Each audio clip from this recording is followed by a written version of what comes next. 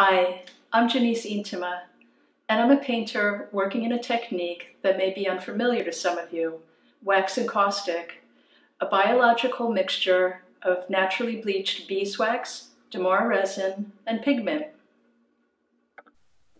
Wax encaustic is the oldest known painting technique. Its archival durability and ability to hold color without yellowing is seen in these 2,000 year encaustic portraits. Beeswax acts as the binder to adhere the pigment, and resin is the hardening agent. Encaustic paint is now sold in blocks, much like tubes of oil paint. I have an interest in old master techniques, and it was the history of encaustic that attracted me.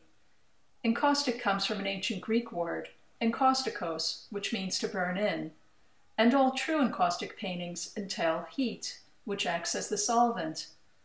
The technique was lost, but with electricity rediscovered. The palette is heated for the wax to become molten, and then colors can be mixed like any other paint. Everything is done through heat. Each layer of paint must be heated to bind with the previous layer. This is a necessarily slow and patient process.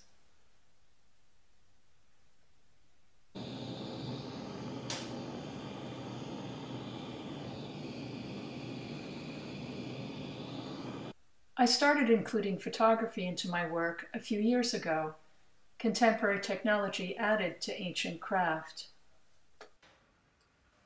But I continue to work with beeswax because it's biological.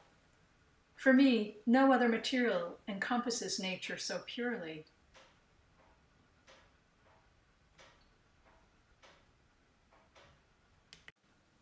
The wax actually suspends the pigment, and light then interacts with the color, bringing an innate depth to the surface.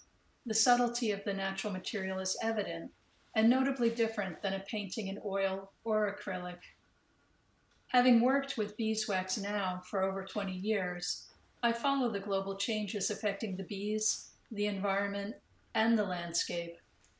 As a landscape painter, I find it important to keep my materials as sustainable as possible, as my paintings bear witness to this amazing and changing earth.